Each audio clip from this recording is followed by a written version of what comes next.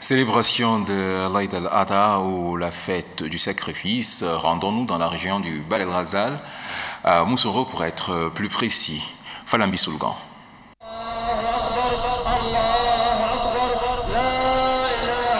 Les fidèles musulmans de la région de Bar el-Ghazel étaient sortis massivement ce jour pour commémorer la fête de l'Aïd al-Adha, appelée communément la fête de Tabaski. Après la prière, l'imam de la mosquée de Moussoro, Cheikh Hamid Hamid Mohamed, a imploré le Tout-Puissant pour consolider la paix au Tchad.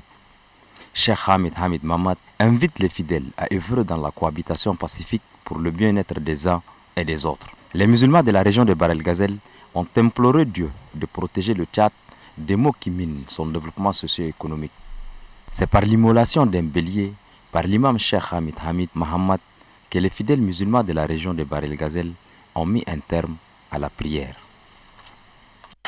Toujours dans le même registre, rendons-nous à Ati, où après la grande prière, le gouverneur a reçu à sa résidence plusieurs invités. Mamataïr Dibrin al-Hour.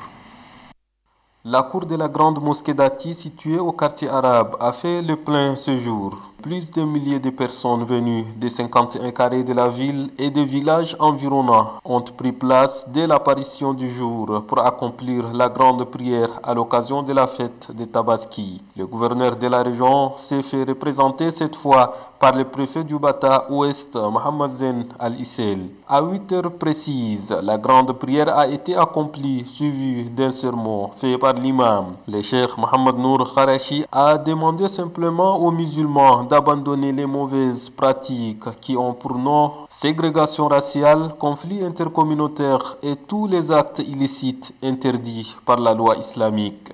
Prière finie, direction la résidence du gouverneur pour la phase officielle de la fête.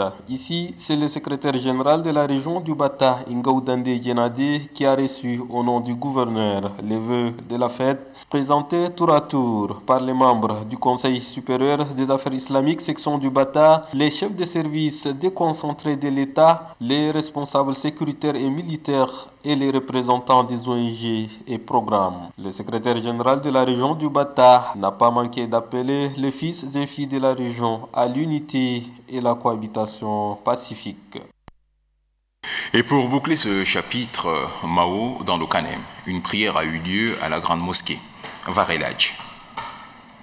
Mao, chef-lieu de la région du Canem, n'est pas resté en marge de la célébration de l'Aïd al-Adha al-Mubarak.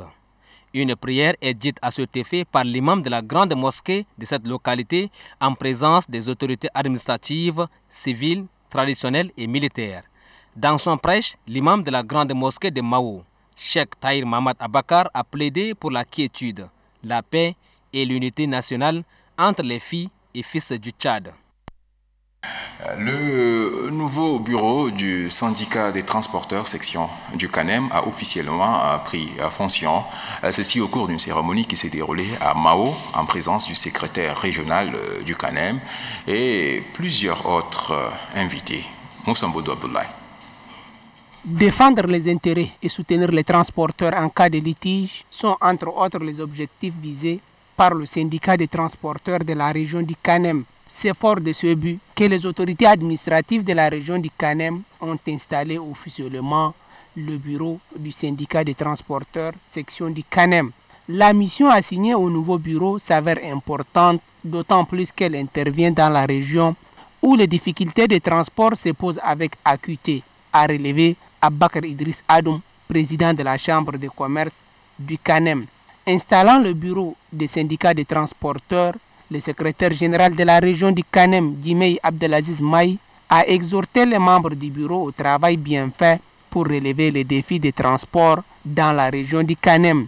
Jimei Abdelaziz Maï a invité par ailleurs les membres du bureau du syndicat des transporteurs à épouser la culture de dialogue avec les autorités administratives pour bien-être de la population du Canem. Le nouveau bureau des syndicats des transporteurs est dirigé par Saleh Lol. Lutte contre la désertification, les militants du Parti du peuple pour le changement démocratique s'impliquent.